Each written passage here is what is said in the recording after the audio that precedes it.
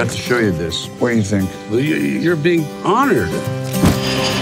He will be presented with a Lifetime Achievement Award. So what? You told him I was his 24 7 driving slave for the entire weekend. Look who the previous winners are Robert De Niro, Jack Nicholson, and Clint Eastwood. Oh, what? Hi.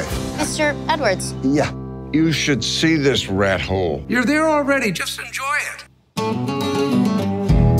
What the hell is this? This is the festival.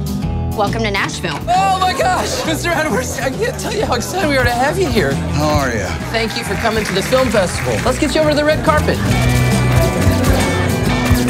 Why the hell are you even here? Because Clinton, and Jack and Bobby De Niro all won.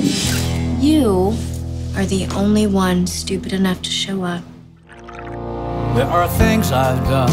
Where's Vic? He left. Vic! Sloshed. Yell bang. Bang. Oh, oh my god! Take back I'm tired of feeling like a has-been. The number one box office star for five years in a row. Six. Six, I'm sorry. better choices. Take the next exit. I take some different roads. Where are you guys? He's on some weird memory tour or something. My God, here you are. I can't believe this.